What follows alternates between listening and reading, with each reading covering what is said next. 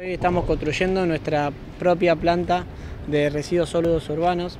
Realmente desde el programa de Ecosanfar, de la Secretaría de Medio Ambiente, venimos trabajando con mucho énfasis, eh, primero en la concientización de todos nuestros eh, habitantes. Quiero entender que, el lugar que vivimos es de todos, debemos cuidarnos y debemos cambiar muchísimos hábitos que ya hasta inconscientemente realizamos y, dañan nuestro medio ambiente. Hoy nos va a permitir eh, tener nuestra propia planta de, tratamiento, donde nuestro, el residuo que los vecinos de San Fernando eh, produzcan lo vamos a reciclar aquí mismo en San Fernando. Entonces esto nos permite eh, no solamente cuidar nuestra ciudad, sino dar mano de obra a, muchísimos vecinos que van a trabajar en esta planta. A seguir trabajando, que entre todos tenemos que seguir cuidando la ciudad tan linda que tenemos eh, y que siga siendo una ciudad que viva de la mano y que vive en consonancia con el medio ambiente. Esta es la planta de tratamiento de residuos sólidos urbanos. Va a funcionar con todos los residuos reciclables que nuestros vecinos generan.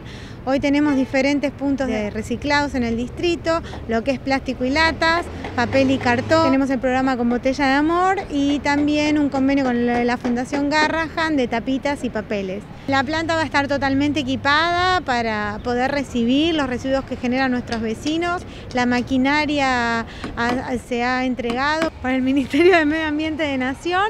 Eh, donde vamos a poder contar con toda la maquinaria necesaria para tratar los residuos. Dentro de lo que vamos a sumar a futuro es eh, caucho, así que vamos a estar recolectando también con todo un programa de gomas para poder tratar en la planta, que hoy por hoy es un residuo que no, no, no trabajamos y se va a hacer dentro de la planta. Que esto es una ayuda al medio ambiente, pero lo mejor es ser consciente de nuestro consumo y generar la menor cantidad de residuos posibles.